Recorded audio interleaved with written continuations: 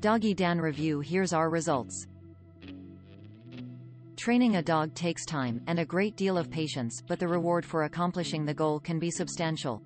Getting started is usually the hardest part, especially when you did not train your dog since a younger age. Luckily, there are many useful strategies that can be used to train a dog, even when the dog is already an adult.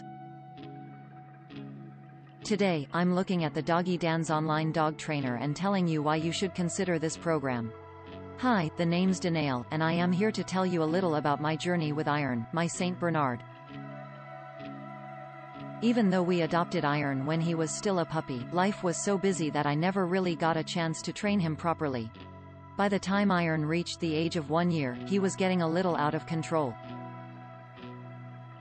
He was not obedient to my orders, he frequently did his business in the house, and he tore up shoes, sheets, and other items that caused me to lose a lot of money.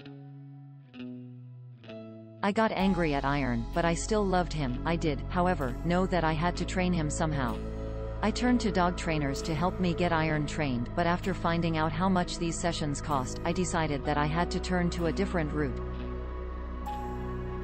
I couldn't afford multiple sessions, and the trainers told me that I would have to consider at least 5 to 10 sessions with them for my dog to become trained.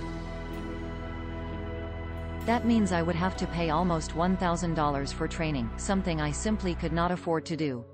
After I discovered that I could not send Iron to a dog trainer, I decided to look into training myself to train my dog. I did a lot of research and discovered quite a large number of different techniques that I could use to train him. Immediately after discovering these techniques, I started to implement them. Unfortunately, things didn't go as well as I hoped. I think the main problem here was the fact that the majority of the training techniques that learned about are aimed at training puppies, and since Iron was already a year old, it meant these training protocols were not really tailored toward his requirements. So, after learning that the methods I was trying were meant for puppies, I decided to start looking at other techniques that are more geared toward adult dogs.